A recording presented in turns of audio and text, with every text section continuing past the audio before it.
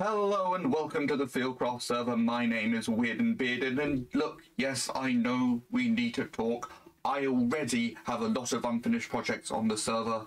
For example, we have the double witch farm over at the uh, swamp, which I haven't even got connected to anything yet. It just does things. There's no uh, system for collecting blocks or anything like that. We have the Weird and Bearded Warehouse and Bunker Ocean Monument rental service. Be amazed that I got that right. This has already taken a few takes. Um, we need to get that all connected to the nether, get that all set up, ready to rent things. Even the slime farm needs to be fully decorated. I barely made a start on that one. But here we are, about to start something new. Going to be taking on a new project today. We're going to be opening up a new area which we're going to be filling with lots of lovely stuff. But first of all, I need to get to the spawn chunks.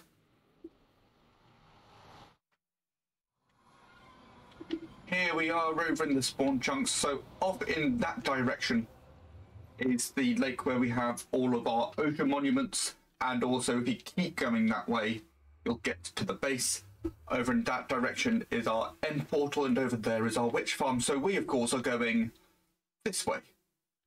We're going to be looking for some ice spikes. I have a nice area over there where I'm going to be building an industrial district. So let's see if I can remember where that is. Excuse me, cow.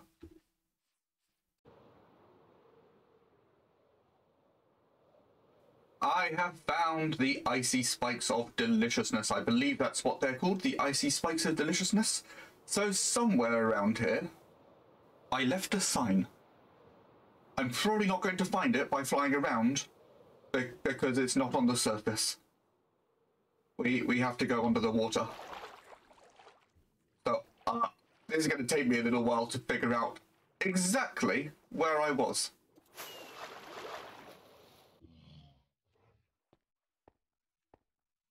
Steady, boys, steady. I've not found it yet. I know it's somewhere around here, but what I have found, apart from these two lovely gentlemen, is yet another iceberg shipwreck. What is it with these navigators driving into icebergs all the time? This is my second one. We're somewhere around here. We can get quite deep under the water. Oh, it looks like this could be the spot. It obviously does make breathing difficult, and that wasn't the right way. That just led down to a cave. But yeah, somewhere here, there's a big sprawling area which I need to find before I run out of breath. What it will do... Oh, could this be it? Yes. Doesn't this place look amazing? Wouldn't it be awesome to have a load of uh, cave, a load of caves, a load of farms floating about around here? I can get a bit of oxygen by coming onto here, but this, even this amazing place, isn't everything. Somewhere around here, we can go further down.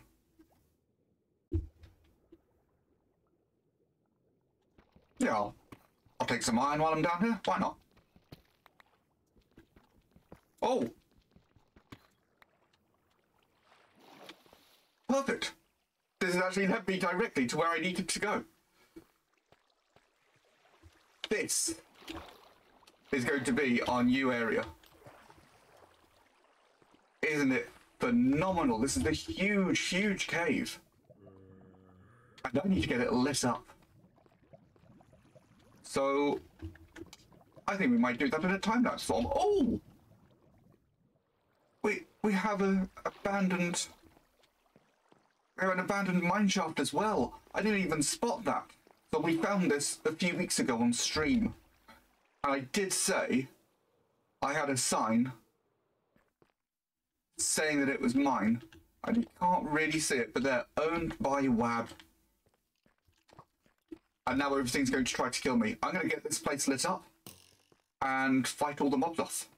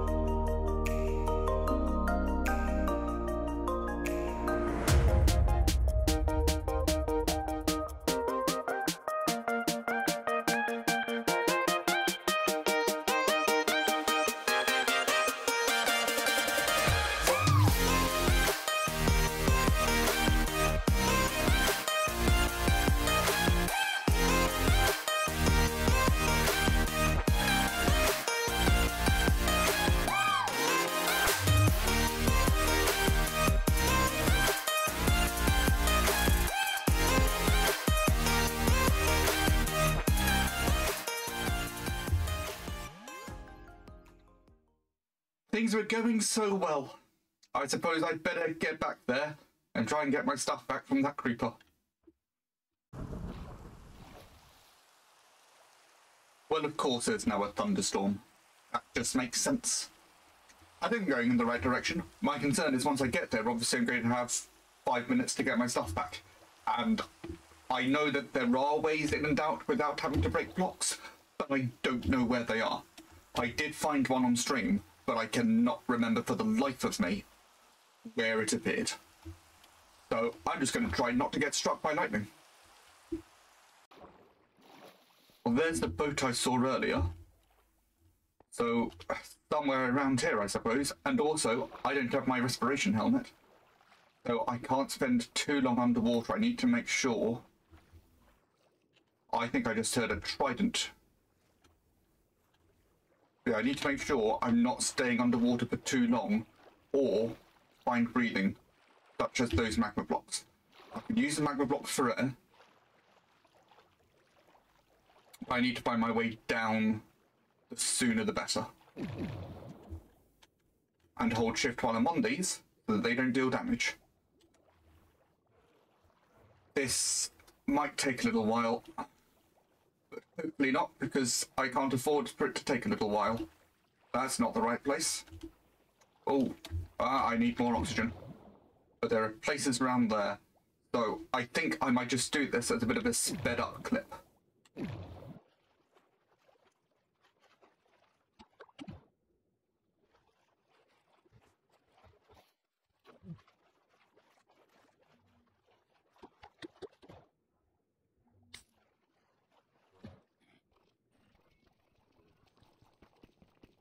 Or even sped up. This bit's going to be a bit boring. I think it's time for a cut.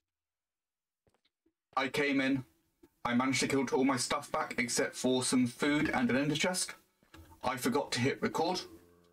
So you are just finding that out now. I've got hitboxes on, which I can turn off now. Um, just because I was trying to find said food and said ender chest. So I'm going to actually have to head back to my base And uh, fortunately, this clip is recorded. I didn't have much time to film this episode today, so I thought before I head all the way back, there is this abandoned mineshaft. Let's see if there's any food in here, and there isn't. There isn't enough any food in there at all. But I thought, well, there might be food through here. There might also be a baby zombie and a spider so I went through here, started lighting things up. I need to go down those two places. And what I discovered was, oh my god, there is another massive cave right next to it. This is going to be huge. I did not see that coming. I'm glad I got away in time. But yeah, we have an almost fully exposed abandoned mineshaft. This is going to be amazing. Still, I've got to go back, get some food, and start preparing for the next part of this.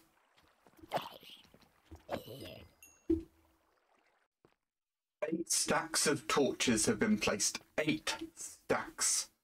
And this place is looking pretty spectacular. Eight stacks of torches, and I haven't even started on this bit of the cave. There is still a lot more to do, but this is going to make a truly glorious industrial area. But we need an entrance. I can't keep digging through the ceiling. I need a better way in and out. Uh, so I'm going to build myself a little platform in the middle. Gonna suspend it from the ceiling, so probably somewhere around here. We're going to make a nice little entrance for ourselves and talk about what exactly I want to do with this place.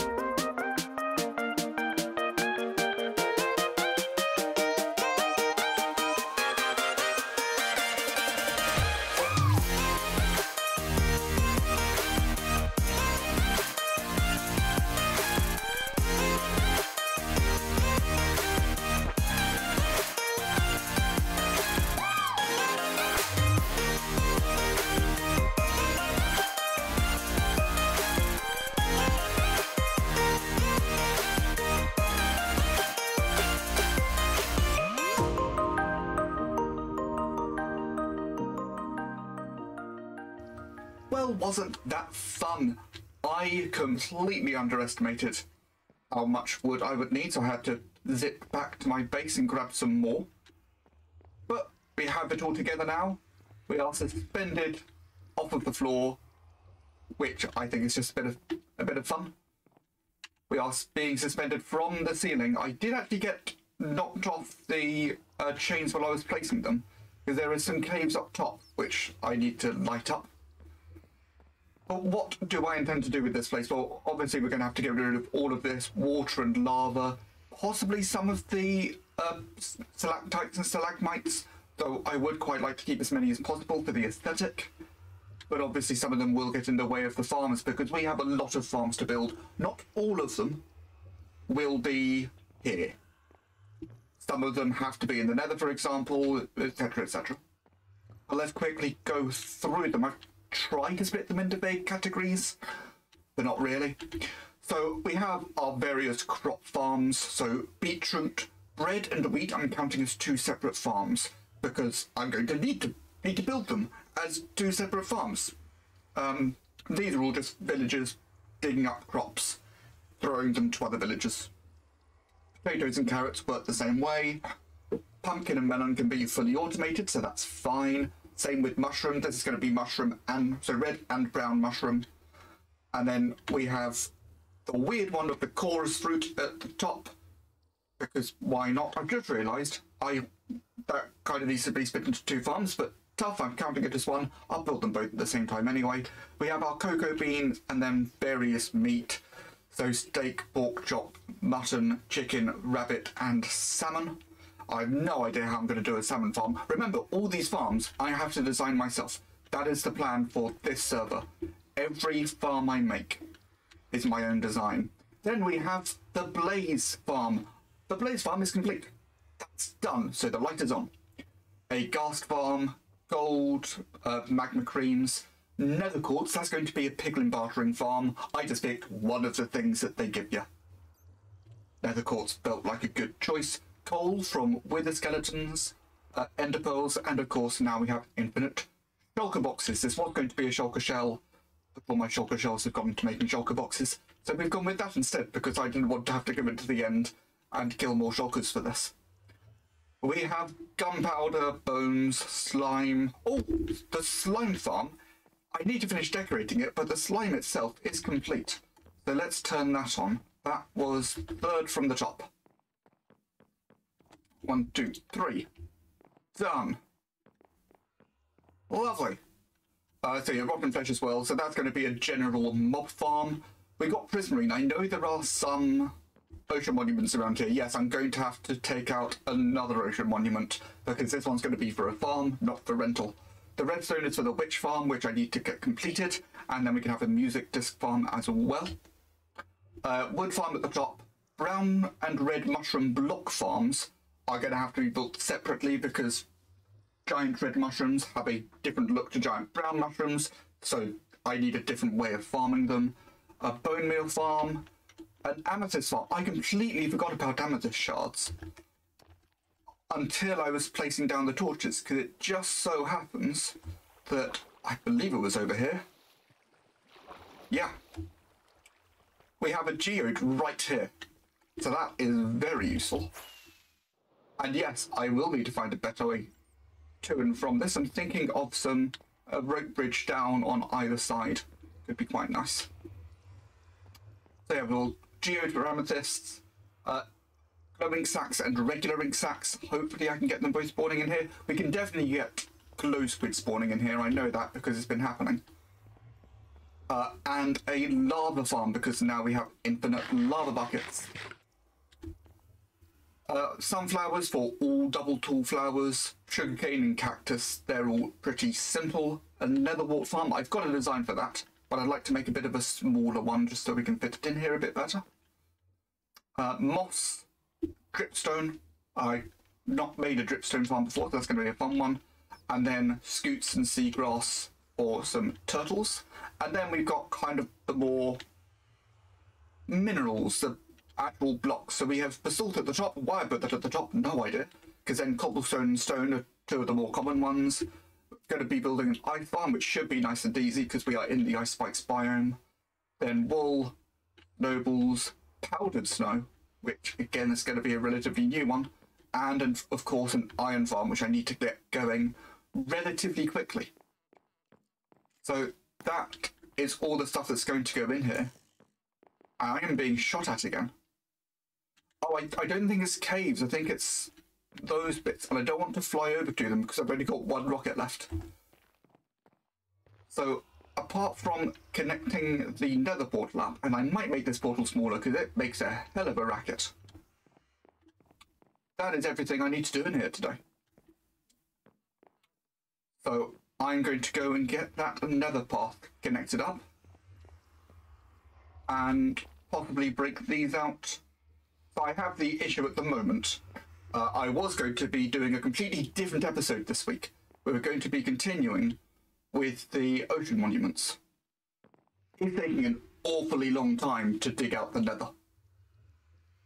So I just don't have time to get that done. In fact, I kind of have to get this all edited, rendered, and ready to go realistically within the next four hours.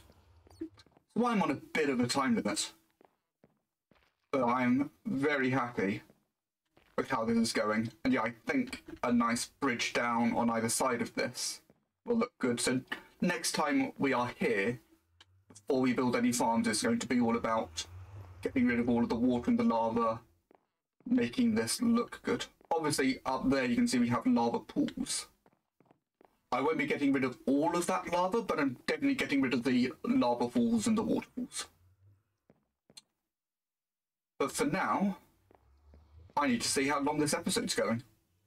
And also reconnect, well not reconnect, but connect this to my nether path.